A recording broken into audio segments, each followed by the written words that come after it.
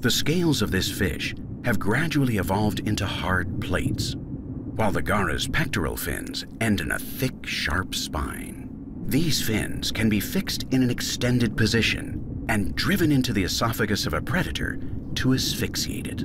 But cormorants, having choked on these fish plenty of times, have learned how to place them in a specific position so that they can swallow them without suffocating to death.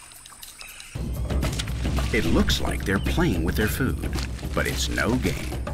It's a very specialized technique to tire out and make their prey dizzy as they try to break the fish's defense of dangerous sharp fins. It allows them to eat what no other water bird in this habitat can